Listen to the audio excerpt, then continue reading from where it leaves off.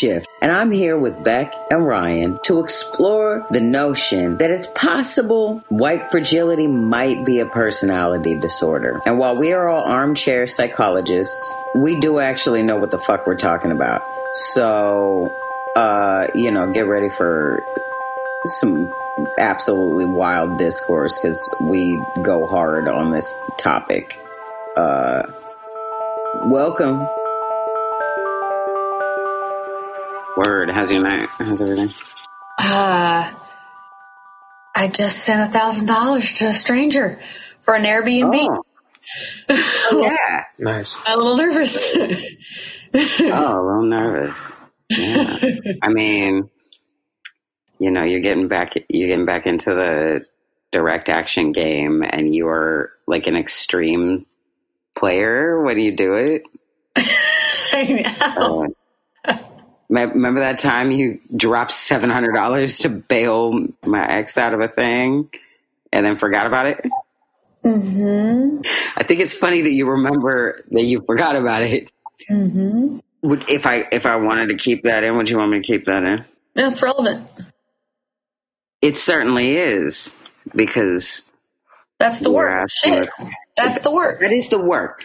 That's the work. It's the antithesis to the answer of the question that we're asking today, which is is white fragility a personality disorder? It may be resistant to change, but it's not impossible to change. It's not. impossible. is it in some instances? Uh, well, like, yeah, I'm sure, like, probability wise, like, you know, on certain percent of the population, it's just not possible. And, but for some percent, it is. And you don't know who you're dealing with until, like, you find out. So how do we know? I guess. I mean, how do we know without I don't know. without letting whiteness fuck everything up? Like, how do we know? I don't know.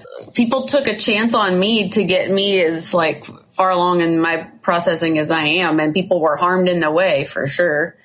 Ah, fair enough. People kept like opening their hearts back up, but yeah, um, I mean, I think Hmm. a lot of times people just give up. Like there's too much ego on the line, and they're like, you know, getting called out or whatever is embarrassing and shameful, and you just get so caught up in your ego and your white fragility and your white guilt, and you're just like, oh, I'm such a bad person. I'm such a shit person. I just got to protect everybody from myself and hide away. And um, but you just Hmm. Keep coming back and like trying again and trying really hard not to harm anybody during the process, trying to apply the lessons you learned last fucking time.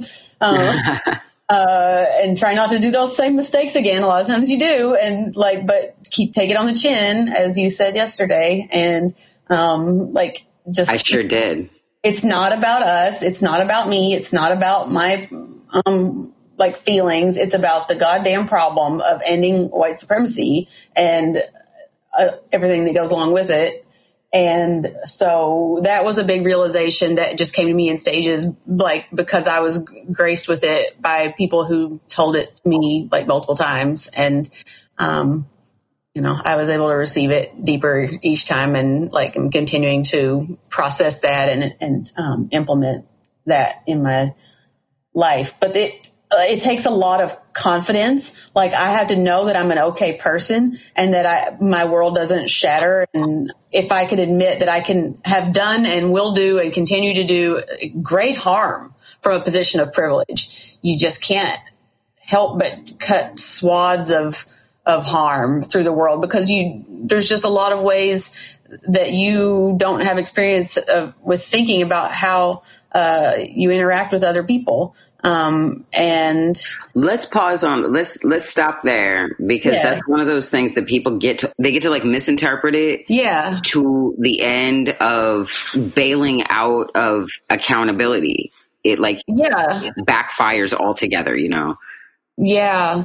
Yeah, you don't get permission to, it's not okay to just like carve swaths of harm, but it's going to be stuff that happens, um, inevitably, but it doesn't, it's not okay at the same time. And you have to make, it be accountable for it and you have to, uh, find ways like financially or, and, uh, if you have the means and, um, I've one thing I've learned as a white person who can mask and go into the world and uh, get good amounts of money that it's part of my responsibility in a lot of ways to go access the material like capital that I can and bring it back because that's something that not a lot of my comrades and community is able to go get because of a lot of systemic and, and structural barriers and obstacles and, and shit that gets thrown up in the way. But um, I can go get that shit and help bring it back. That's uh, and be and be accountable. Actually, you know, have the resources to be accountable for the things then that I do um, financially, uh, and also go get therapy and and self care and figure my personal development out so that I can be accountable emotionally for the things that I do. It's my responsibility to go do those things. You missed one. Uh, one big one, and it's one that people can access, like with or without resources uh, external resources if they have the capacity internally.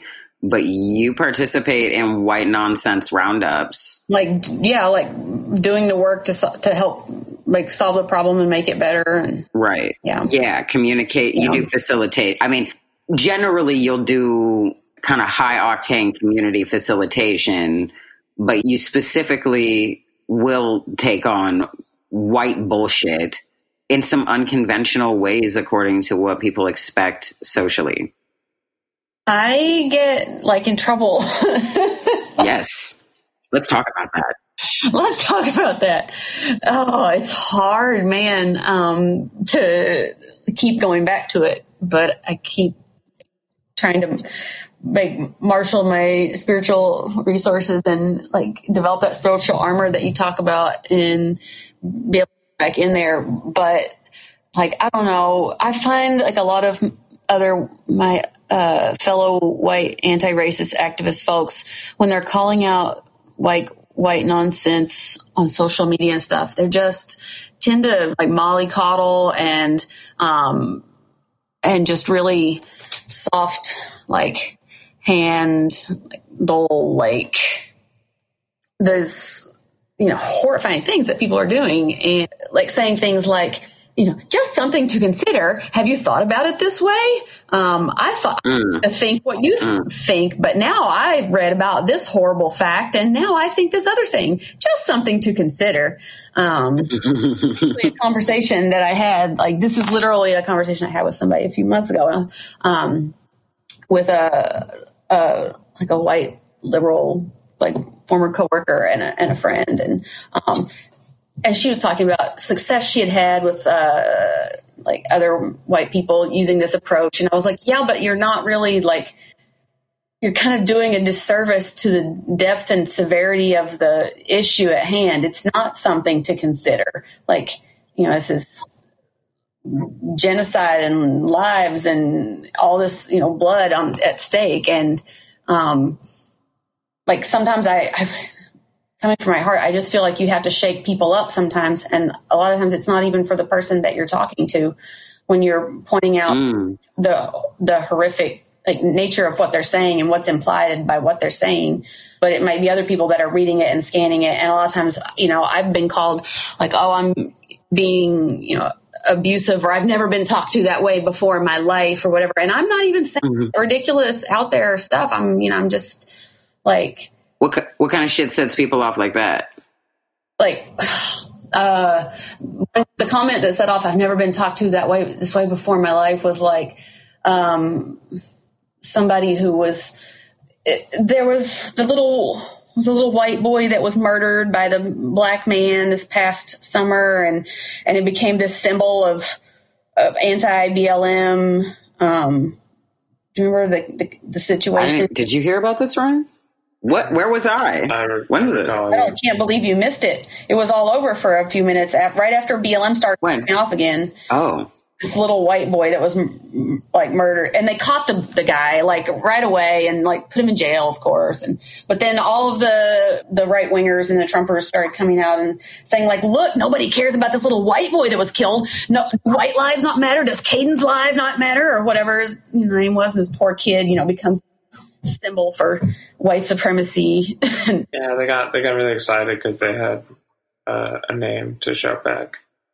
like a picture of like a tragic case and it was just like it was just ridiculous and i woke up and saw some like white lady from my hometown that i had grown up commenting a story that was like you know poor so and so poor little kid um, doesn't his life matter too or whatever? And i kind of jumped on. I was like wow this is racist because of such and such. Like this is i just kind of like stated it very neutrally and bluntly.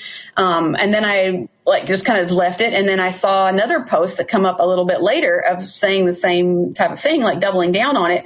And ooh that kind of like i, I think i tagged her in something else that said oh, is this the kind of nonsense that you're on this morning? Or you have that, you really have that hate in your heart, don't you? Question mark. And my whole hometown came after me. and, and like, you're so mean and now you, you're the crazy one you're the racist one the stuff they always like go to uh trying to because you put her on on some bullshit you're like it's like when you do it in public you have and, meltdown Oh fuck. Yeah, she like, should be embarrassed. Yeah, she should be embarrassed. That was some racist, awful stuff. Um, and apparently she's just kind of like didn't really know any better. It's just very clueless. Um, but that doesn't make it okay. And it doesn't make it okay that you've never been talked to that way in your life before. I didn't say anything that ridiculous. I was a little bit right. sick. And I'm like, fuck, man. Like, that is the kind of stuff. Yeah, like usually, I mean, I'll just be kind of neutral to a little bit like sassy or sarcastic. Like nothing, like just ridiculous. Nothing super. I mean, and sometimes, okay, so there was another situation. A couple that I had gone to college with, um, and the woman's mom was like a this kind of you know, school teacher type, middle Kentucky type, who was pearl clutching about BLM protesters and and you know window smashing or something along that lines. I'm sure, and just you know. You just can't Ooh, fucking who. Yeah. listen to anybody that would, uh, you know, that that's how they would express themselves. And I raise my children to be good people, and you just don't do that kind of thing. And good people never break glass ever. Their ceilings are made out of them. It's important that they not break any glass. Yeah, you just you're not supposed to, you know, rock the boat or you know do anything scary, and um, and she just couldn't wrap her brain around that like that could just ever be excusable for any reason, like just you know that's just beyond the pale, um, which is this pearl clutching stuff that'll. And at that moment, I was kind of trying to share a lot of these memes that were like with that MLK quote talking about the white liberals being the the biggest enemy and um and, and other things along those lines from like black protesters kind of talking about how uh, how frustrating it was that um, you know white people were only approving of the good type of black protesters and not the the bad type of black protesters. And I was like mm-hmm. um, telling her, you know, like, do you understand that the a window versus like, this you know 400 years of the worst genocide that the world has ever seen. And like just the, the scope and scale and just how ridiculous this comparison is. And i was you know i was saying about calling i was using words like absurd um, and she i i took i, I sat down and took i don't know an hour or two and wrote paragraphs and like two pages of response to this woman and I put it up. Mm.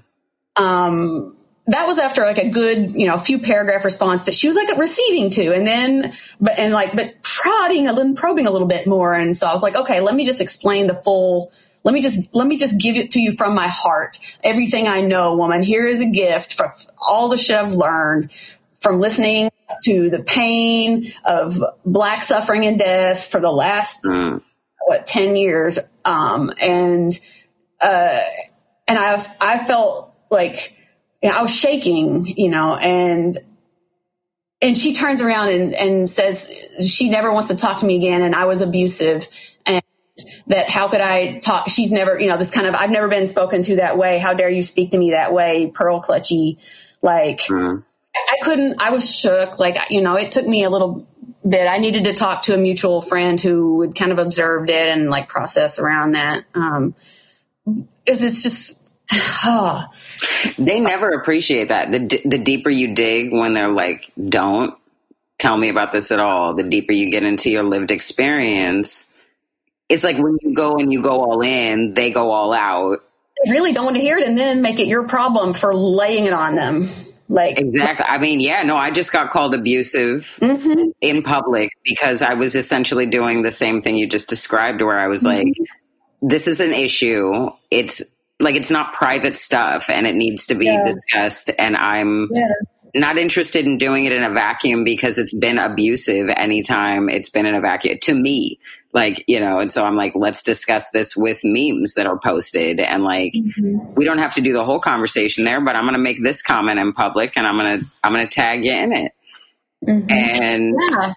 yeah people act like that's the like for real this person was like i would never put any effort into a person that would talk to me this way on twitter like twitter's some sanctuary mm-hmm.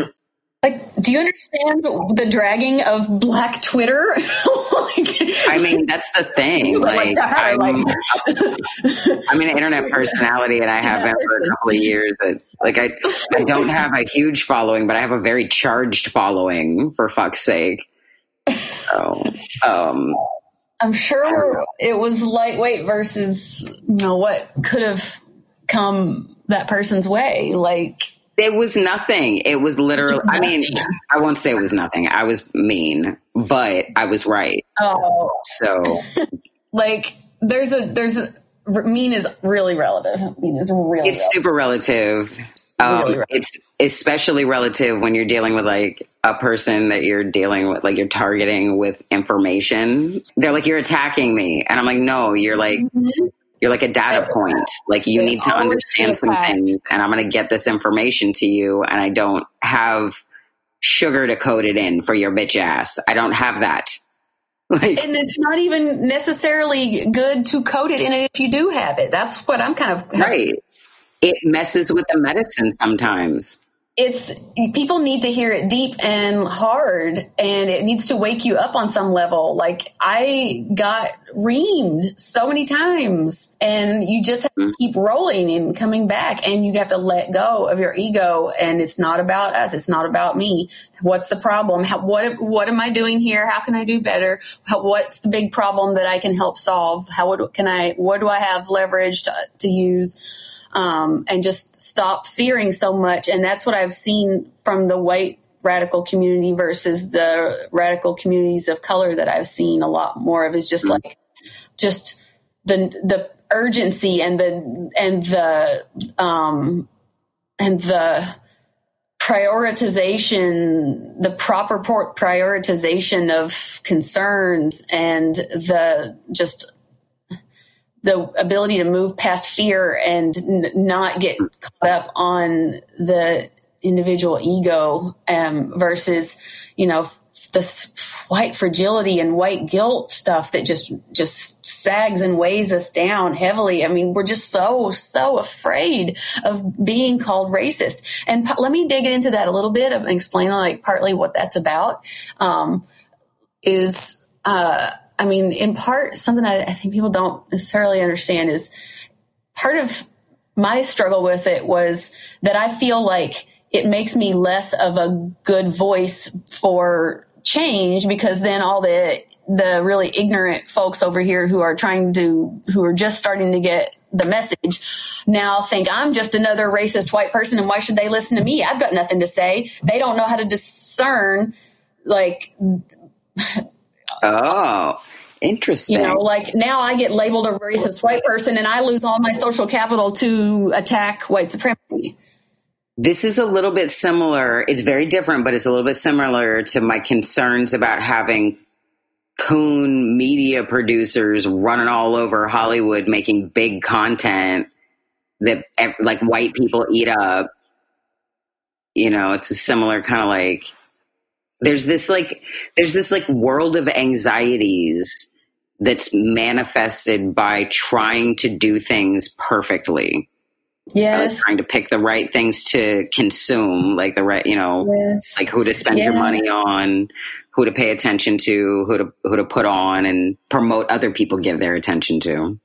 That's what happens when we're force fed trash. though. You know, it's like you got to kind of comb through stuff, and that's where we learn media literacy. But like managing that anxiety is like a big deal thing that needs to be like we need more space for that in the world. I mean, like AA, AA is everywhere. Everybody knows where to find their local AA meetings. It's this prevalent of a, of a cultural disease like white anti-racist groups was kind of a thing that was booming a little bit uh, starting a few years ago um, but then there came a wave of criticism and it came around was like wow these white people are kind of messing it up and they're unchecked nobody's like supervising what kind of shit they're getting up to and these bunch of white people talking about white supremacy groups um, maybe sure. way that this should be handled and so i and other people i know just kind of stopped like those groups just kind of died down. And I don't, I think there's, you know, still well, doing stuff, but they started thinking more about like how to make sure that they're accountable, uh, that they're being, you know, that they're, that they're doing things right. Um, I think there's a time and a place for different things. Like I was saying earlier this year, in June, I heard a lot of white women that were like, let me put up the black block on my social media and then I'm not going to talk yeah. or I'm just going to lend my platform to other people exclusively. And then they would sidebar and say all the right shit that needed to be publicly said. And I had to tell all these people, I was like, would you please go make videos? Comment that shit. Like, don't, you don't get to take a vow of silence through June and July right now. Yeah, that, like, that, that was a big, like, what they call, you know, the virtue signaling and the performative allyship and, uh, like, right. Like, let me go. It's, it's let me go have immediate ally fatigue under the guise of community care and doing the right thing. And like, yeah. it was like the, the opportunity to put that black square came up and people took that as an exit. Uh, I didn't realize that. I'm doing the work. That's where I felt I went, I experienced it a different way where I was like shamed into showing my face back up because my first, like, I don't know, third post back up or something was like, you know, hey y'all, sorry I've been away, but like, here I am. I had some babies. White silence is violence. you know, I'm here. That's what's up. Uh, you know, yeah. I was getting reports on you. We weren't talking at the time. Oh yeah, I can guess who that.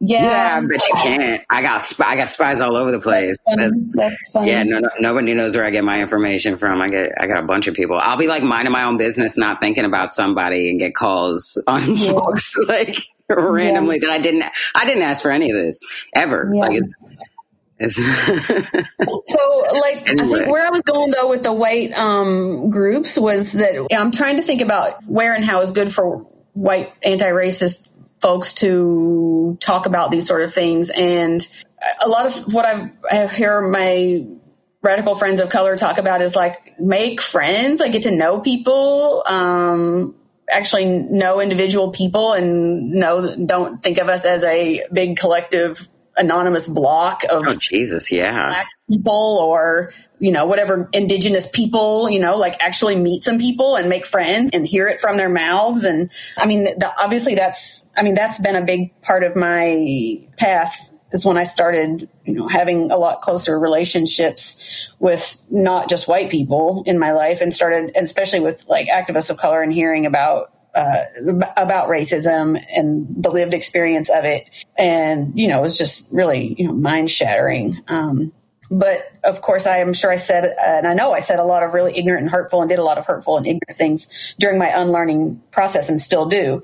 Um, and, and, but, and so I think sometimes, you know, I have questions about this or that. Like, how do I not be? Is this racist of me? How do I not do this? Can I? How do I be a better white person? But I've learned. We you know, did a short list the other day. I know, but I have to also I have to like throttle. I can't just lay. I like I I can't take up all a bunch of emotional space with all my friends of color, asking them all of this stuff about you know that's tokenizing and like pigeonholing people and making them representatives and making of their racial experience and making them relive racial trauma and explain the frustration of explaining like white I mean, you and I just did this what a day or two ago, where you were like, I was like, please, can you just explain it to me? Or like, don't explain this to you, not. and I was like, yeah, but we leave it and out of it. I, don't, I can't learn. I can't learn if you don't tell me. like, let me have. Yeah. yeah. Well, and then the tricky part was I was I was telling you at the time, and then you panicked because you were like, "You're coming too hard," and I was like, "Stop squirming, or I'm going to kill you right now." And you stopped squirming immediately. And we came back around, and we worked it out. Oh, no, I don't think. I even noticed I was panicking. Maybe you sensed it in my voice, and, and like. I mean, my- yeah, I, t- I assume that when people are like, I don't know when I have to be taught when I'm in the middle of teaching them that that's what's going on. I'm just going to call it that because that's what it feels like to me because I'm already yeah. done teaching you. So what's mm-hmm. the, you know, the, mm-hmm. and um, I, I, can be, uh, I can be a little loud. I can be a little loud. Um, so you know, I expect I expect people to be like, "Shit, that's abrasive," and to need to have moments where I'm like, "Yeah, are you all right?" I'm gonna keep going. You need to leave. yeah, I don't know, and I, I, you know, I tend to feel like you, you, you think you lay sharper, harsher, meaner blows than you do, and because you like keep getting boxed in by these white suburban like, like norms that don't make sense and are just super. It just blocked me for being not polite about like genocide or like you know use you. just horrible microaggressions that are happening all the time. Like tone policing much? Like oh god. Well i mean i'm in a constant state of never knowing when the ground's going to drop out from under me because i surround myself with people who know how to talk the talk and it's a matter of time before you find out if people know how to walk the walk or like how hard they trip when they are walking the walk and they trip you got to be resilient and you got to keep walking the, walk and like i don't know. I mean i'm ashamed of sometimes how long it takes me to come back uh, after going away with my tail between my legs. Um, and there's spiritual injury wait no because it's real it's real warfare and real injury does occur and people do need to go take their space to process.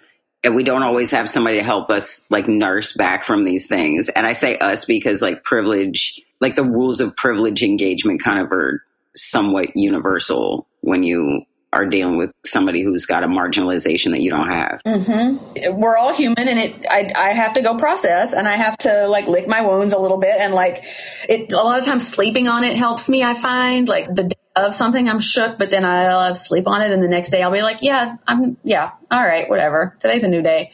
Like I don't know. Um, but it, like I've done a lot of self work and I, and I have a lot of confidence in myself and I'm just, um, have it just, you got to get fortitude in your gut to be able to let that stuff roll off. But it's also not, it's not just an, like an option. You can't opt, you're hurting people until you do. You, it's not, you can't just opt out. Like this is a, not like a job that you can just, choose to take on or not. And there's no judgment attached. Like this is the work that you have to do. Um, if you're, I have a theory privilege that there, there's this like psych, psychology kind of like spiritual, like self help brand called the work, and it's very, um, you know, uh ally fatigue masquerading in the skin of self care. Mm, yeah, yeah, yeah, yeah. If it's applied here, that's what it would manifest yeah. as. I had an epiphany about it like a week ago. Mm. Because somebody was saying, I'm doing the work while mm. blocking me for calling them white when they were doing something I thought would be reasonable to call them white about. Um, white Ability, man, it's a it's a thing. Yeah. Oh, um, yeah. So the like, yeah, that is something I saw a lot in the um in the radical community in the white radical community was like just really relaxing into the well i'm just going to focus on healing for now like mm okay, yeah, go, uh, yeah, we're trauma informed. We understand. You got to go, you know, figure out some trauma and like, you know, fix yourself, like come back sturdier. But like I have seen myself and and other people definitely like lean into that varying degrees of too hard. like, yeah, it gets a little self indulgent after a while, and I don't know. My guilt starts to eat at me. That's what happened this last time. I I see all this like Black Lives Matter stuff like going on again, and I'm just sitting around like not saying shit most days about anything about oppression and I'm just living my comfortable life and like yeah I'm you know I've been doing some healing. I'm settled down settling down from some trauma and cooling out and I had a you know a baby or two and okay stuff. Like but I could I felt like in my heart I leaned into it you know too much i was i was getting some self-indulgency there and i'm going to tend to agree with you uh, yeah, I'm sure. I'm sure you were like, you know, one of the uh, primary people harmed by it. Um, and how? Yeah, and we'll be getting into yeah. that yeah. another time. Yeah, that's actually, I do want to mention in the middle of all of this conversating, we did have a falling out. We were not talking for like a year we've reconnected. Half, yeah. directly addressed all the ins and outs of the whys and why fours of exactly why we stopped when we did with the talking. Um, the reason I want to mention that is because like we both are really good at uh, being present and like dealing with what's at hand kind of shit. Like that's just how we operate. And um, I just don't see that represented in like how relationship dynamics show up in any narratives that exist in the world. I don't, I just don't see it. Not except in my life, like except in my actual life. So I'm like, I got to produce things and actually like find like there's there's plenty of ways that I'm going to show this stuff, like this weird way that I uh, curate relationships, and then we're going to get into it. We're going to address it, mm-hmm. but it doesn't impede the ability to reform relationship and yeah, yeah we're rebuilding. It's we're not in we're not in denial about it or, or like putting it off either. We address things when they need to come up. we're rebuilding trust and rapport, and we'll have a better conversation after we like get kind of close back up to each other more again. Like yeah, that's what I think. I mean, that's, I mean, I would be happy to have a conversation about anything, whenever, anytime you want. But like, I, I totally am fine and see the point in, um, you know, in you wanting to just hold off on that for a, a minute. Sure. Okay. Uh, yeah, absolutely. Um, and I, yeah, like, I don't know. I think I, I was really graced to have you open your heart back up to me and was and I think it, I was it, it was a little t- tenser and it's less tense now. It was tenser at first. Indeed. I also agree with you about all of that shit. Yeah, yeah. And, no, I was I was uh, not open to that shit, and it was a trepidatious reentry on my end. I think we're closer now. I feel than I, than we've ever been. And you like were there for the birth of my two children, and were a housemate, and have been through uh, many years of a lot of intense stuff with me. And I think um, just being able to come back together and um, bring back bring to the table now things that you that I learned that, that you told me during the process of when I was hurting you um, that I never forgot about and I've been you know working on trying to do better about um, and uh, I like gosh what a chance to be a better person. What what a great feeling. What a what an amazing chance just that that I've been given um, and I feel so much closer to you now, and that we've been able to support each other through this COVID situation, like almost you know, every day, all day. this been yeah, such a beautiful thing. Yeah, and, we didn't reconnect until kind of deep into the, you know, I guess looking at the whole thing as of now, like a little over halfway through when we were yeah just toward the latter you know, August, September. things last few months and it's been really good for me I really needed that but I you know I I, I it's not can't say oh I deserved it. Where before, where was that for me? Like I'm the one that that broke that and lost it, and was fortunate enough to regain to regain it. Um, so, but yeah, no, I feel like it's cool because now, like, part of what you told me before was that I didn't tell my full truth to you before, and I was bottling it up until. And what I did was that I bottled it up until it was like too much, and then I cracked and was very mm. hurtful. And um, but that I wasn't that I wasn't being an authentic, fully real person with you, and was you know holding back about uh, about things, and um, I'm trying not to do that now. And even if something I feel like might like hurt you or offend you, I'm trying to find a way that's like caring. I mean, I know God how to do this. You find a caring, loving way to ask a person to about if they want to talk about such and such difficult topic, and you present it in a loving and caring way. like, and how? That's we should write a book about it for dummies. That's all that'll be in it. Gosh. Well, oh. so yeah, I mean it. It really is just a world full of nuance and intersection, and there's a lot more going on than you know, I don't know. It's just people find easy opportunities to bail on shit. Like it's really, you know, we we really did go through a whole number of things and you know, it's all it's all been logical. That's what I'll say for now. We'll get into the details of it in a whole other episode. Because one thing that I want to get into is when one of the things that's been priority has been uh you've actually been doing a lot of uh, energetic repayment for like the what is the experience of stuff. And one of the thing you got you got to breaking down.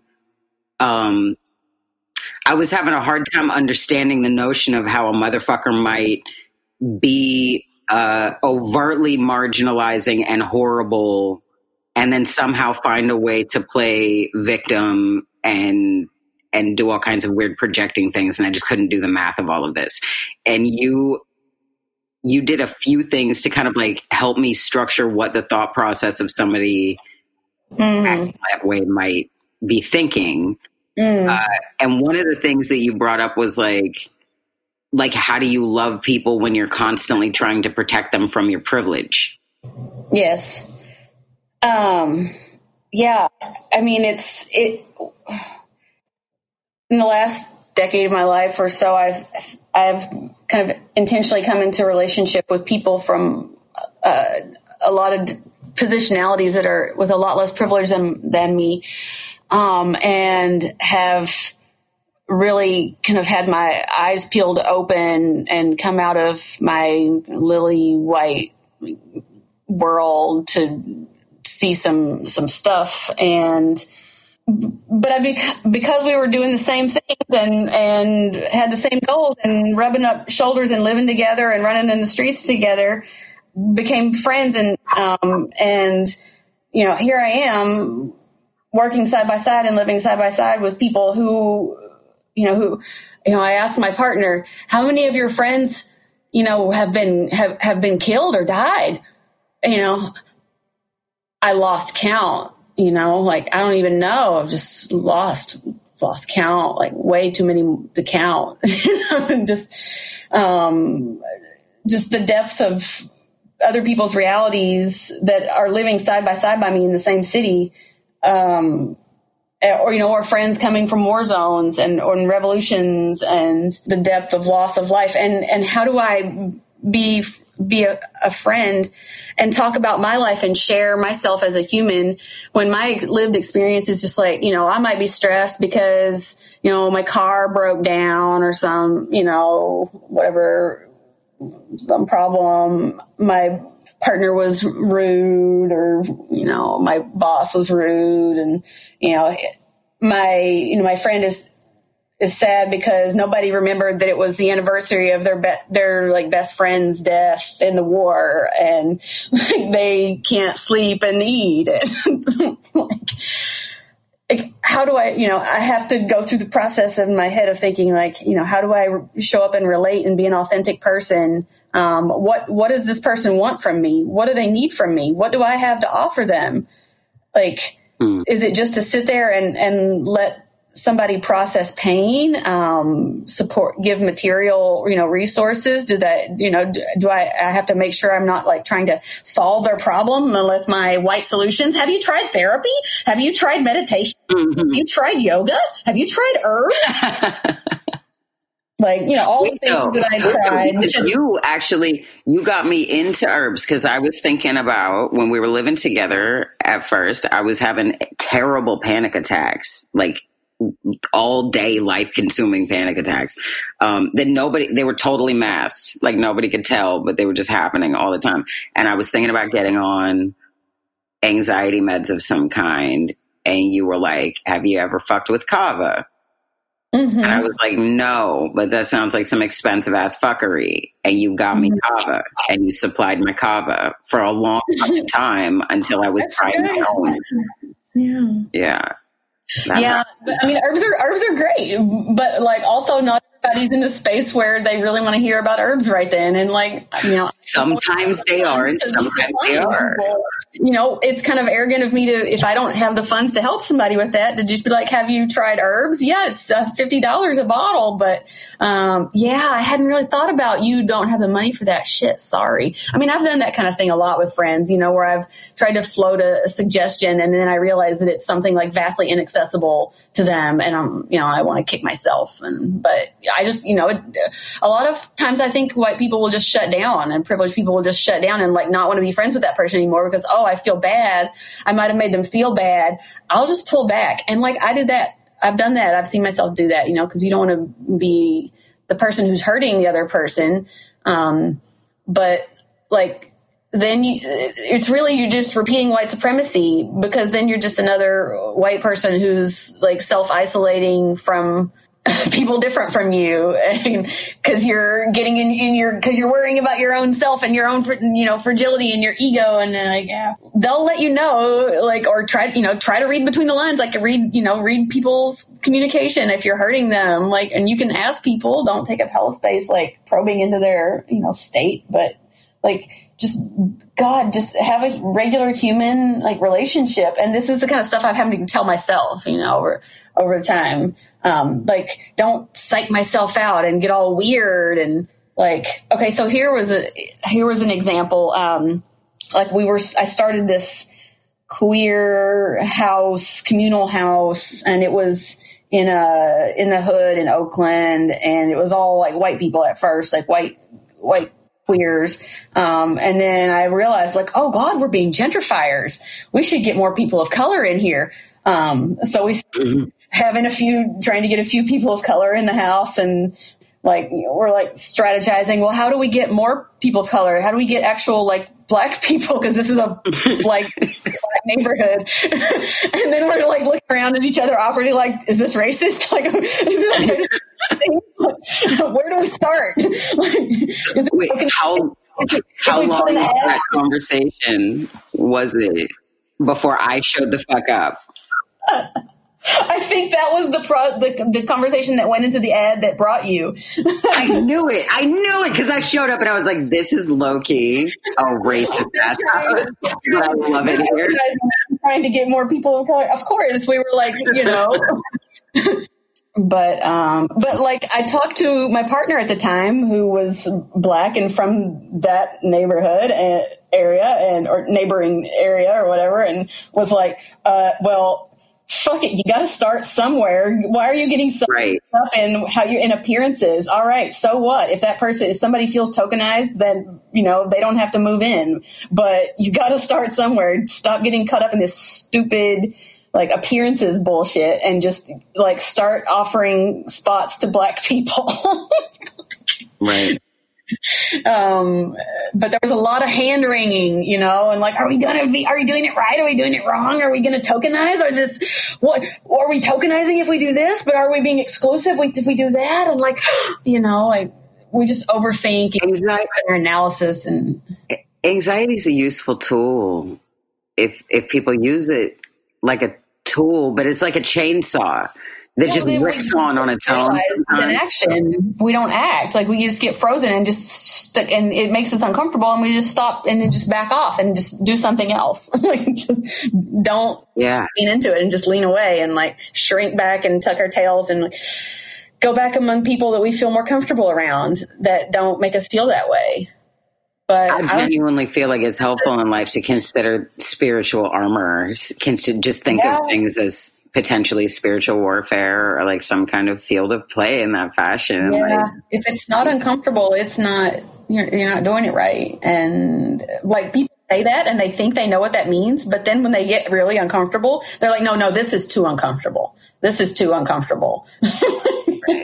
you know, and okay, like it's too uncomfortable for a little while. Okay, like okay, tap out and come back though. Like tap out and come back though. Do the, you know, do some thinking about it and like like and stop and make make the harm better and stop doing the harm and um and put a smile on your fucking face because you learned a lesson and you're not going to be that asshole anymore thank goodness like hopefully you know like cognitive behavioral therapy for myself you know like telling myself like no it's not i'm thinking of it like that but it's not really that's not really that's distorted thinking like it's not really like that like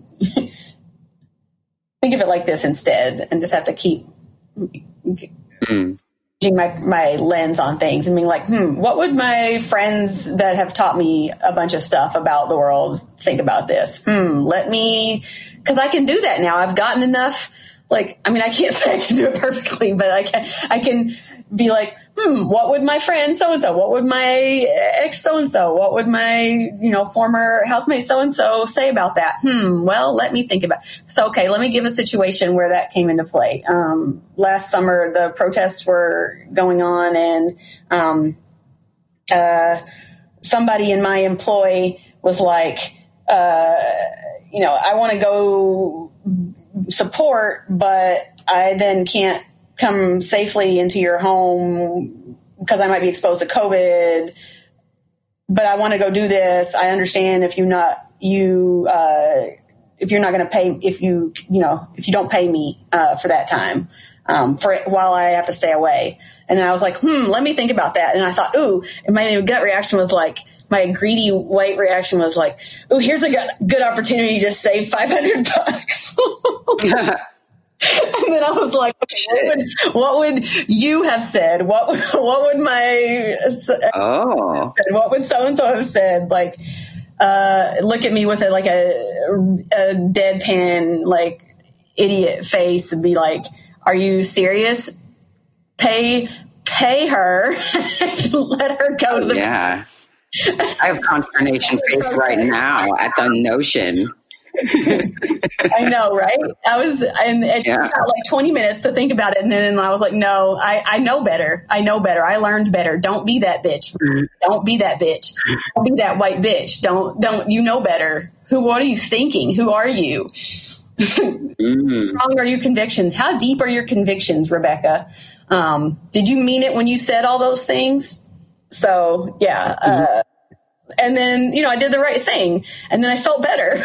Like white guilt can you know the people always want to like like white racists want to mock white activists white anti-racist activists. Like oh you just have white guilt. You just have white guilt. And i've i just have to keep coming back to again and again. It's like you know uh, we should be fucking guilty for what we did. It's horrible. And what we do we do horrible things. I mean, did horrible things. And the problem is when we get hung up on it and we can't move past it and it's all about our egos and we just god it's really that's really what a lot of what the problem is. We just get really hung up on on appearances on our egos and being embarrassed because we've tried so hard to be the good white people and then all of a sudden we're the bad white people?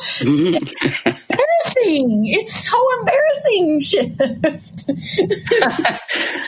And there's very few times in life when I have to deal with embarrassment like that anymore. I, I had to come out of being a fundamental, fundamentalist evangel, evangelical. Like I, I had to come back. I still have to. I just said it to like a world of people. That's actually the first time I've said on this podcast. Like I wasn't gonna just put your finger on it, but Yeah, I mean, why the fuck not? That's what I was doing with the weird cult I was in, was proselytizing the gospel as a fucking. So I don't really, I think I just maybe don't have room for people's weird embarrassment shit, you know? I was a teenager for that shit too. And you shouldn't. No, it's, it's, it's, it's appalling when you think about it. And you know, like I just, I, I force myself to scroll Facebook and, and and be reminded of like images of genocide and, and slaughter because I'm like I'm like I gotta get out of touch and I got to get back in touch with reality here. I'm getting wrapped up in my white nonsense and um, it's so easy to just go off into la la land and and just go just think about comfortable things. We set it up so that it's really easy to. I have a lot of people that come at me. Uh, with concern, quote unquote. They're concerned about me. I don't know what that means in general, but they are concerned about me when they say that I need to throttle like all information like that, like looking up, you know, just knowing what. And I don't, I don't mm-hmm. binge eat it, but I don't know how people are supposed to get calibrated to what's actually happening if you don't look at the stuff. There's a thing that I saw last summer that called spiritual bypassing that made me really think. Um, it's a type of of a white uh, fragility that's like I'm too sensitive a soul to watch the news, and I'm too sensitive a soul to hear about these horrible things.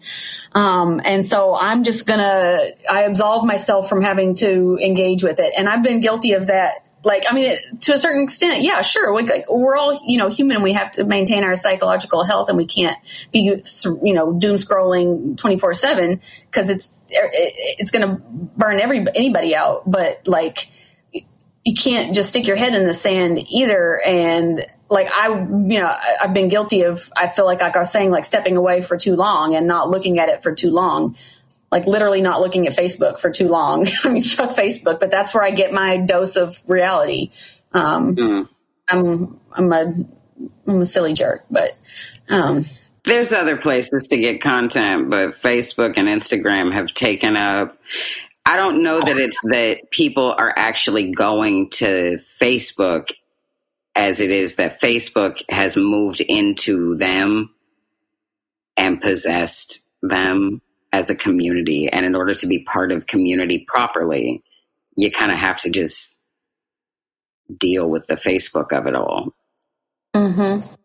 I don't know the question you kind of started off with a while back about being mean to people on social media, quote unquote, and like the fallout from that. And the interaction that I had, those kind of interactions that I had with the mom or those various people, like the, the, the former, you know, high school classmate person, those people might have shut down and not listened to me, but that stuff might work on them, you know, on some level deep down. It may or may not. They may feel shame burn. And I mean, I know they're, they're religious people and they may have some like, actual depth of conviction. They may actually, you know, confront some stuff, but that's, but if, even if they don't, other people came to me that out of the woodwork that like barely knew me, you know, these days or knew me from way back in the day or barely knew me at all, but were just from my hometown and just like added me as friends and wanted to chat and like or thought that was cool and were like, yeah, don't stress about that.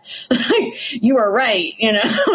Mm. that was was that was awesome, you know, and and it's like diversity of tactics, man. That stuff it turns some people off, but it turns some people the fuck on it, it, it shakes people to the core sometimes. Like it took me, it took some graphic realizations to get me to awaken to the reality of things. Like I went through all of a PhD program, um, learning about oppression and didn't understand really jack shit about it until I started like seeing it up front in my face and like, um, being confronted with uncomfortable and beyond, um, situations. Um, but yeah, like I think, you know, it, I've, t- okay. So my own grandma, my own grandmother, my only living grandparent is now no longer my Facebook friend because I lashed out at her about some like, you know, thin blue line type of nonsense. Um, and was, oh my, I like, I wasn't even like, I wasn't abusive. I was like, I said, "This is racist," and I said, "I'm I I I hate that you would post something like that and that you would have that hate in your heart and don't you understand you know why this is wrong yada yada a few things and this is not what the, the values that you t- taught me and that I learned in Sunday school with you when I was a little kid and Jesus and you know and love and um and and justice and she blocked me. Mm. Um, and she's like, you know, late nineties, maybe. I don't know. She's way up there like, and in Kentucky and like probably will never see me again. Like maybe, you know, I was ready to just that relationship off because I was, and then my aunt I saw, like I have Facebook purity so I can tell when people un, unfriend me and my aunt deleted me too. like I was just like, hmm. wow this the fragility to cut off your own grandchild because they called you out publicly on Facebook about something that was racist in a loving but firm way. Like mm.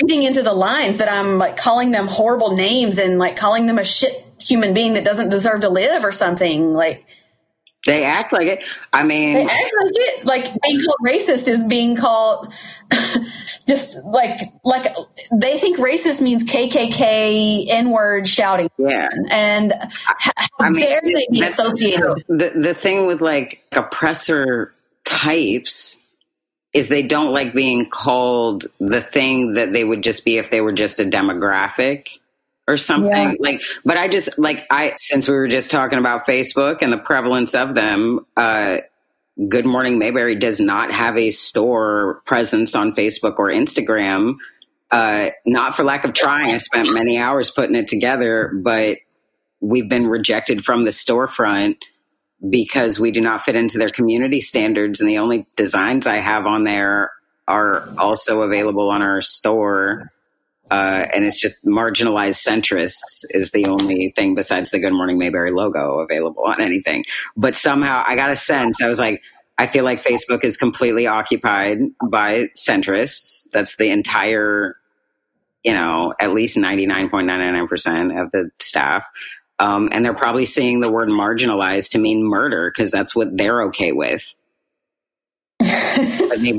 you know, Mm-hmm. We got to kind of wrap things up. Like Ryan has been chilling here while we've been. I I asked him to join us because we just have such bizarre and interesting conversations about this stuff. Uh, yeah, sorry I didn't speak up a little bit more. I just wanted to hold space for this conversation, like because there was a lot to process and move and unpack here. And also, I know you guys have a history, so I was also gathering context clues um, based on uh, what was shared, and I've I've also taken notice that like anti-racism is trending, and people are excited about the ways they can promote themselves that way.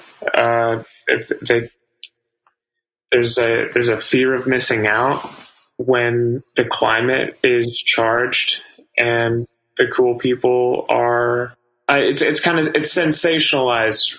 It's uh, when when FOMO is applied at all to situations that involve real experiences and like death.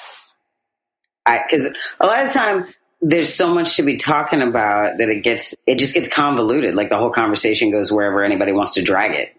But the bottom line is is like at all times I'm contending with this issue where like my fear of actually being killed has to be in contest with somebody's mood because they're there because they feel sad or bummed about not having a story to tell and not having an involvement that I don't know. They get I'm flashing to uh, the Boondocks episode where they get into it with Granddad about whether or not he was actually there getting hosed down by fire hoses and chased mm-hmm. by dogs. Yes, yeah people just need to show up, but then also they need to get out of the way. But then also it's a lot of nuance to juggle, and I don't know what to say. They they want to be able.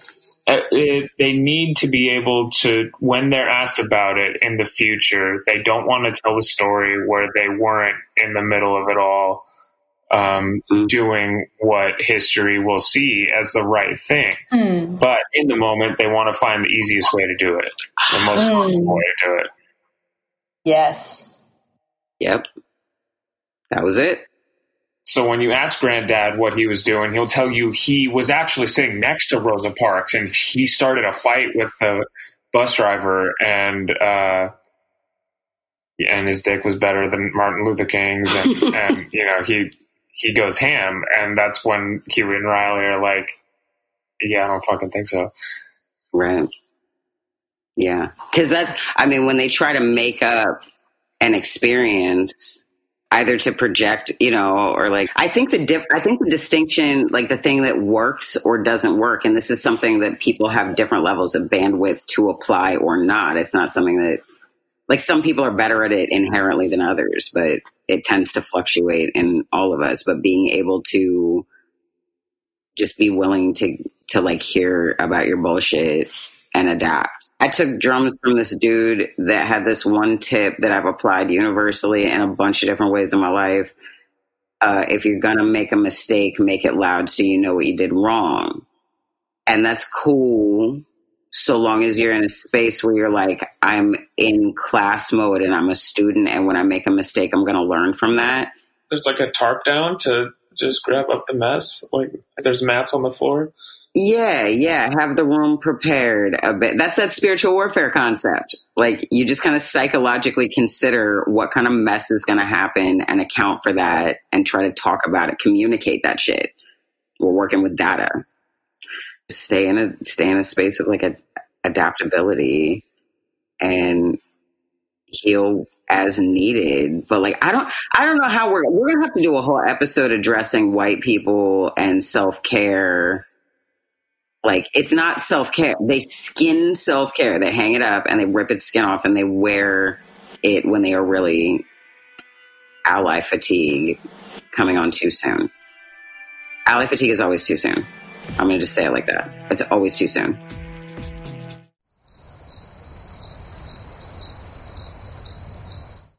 Anyway, I don't know. We'll we'll be coming back to all of this subject matter in so many other episodes. But I feel like um, the conclusion is that white fragility is a personality disorder, but that there are lots of treatment potentials that mostly involve just like not being a dick.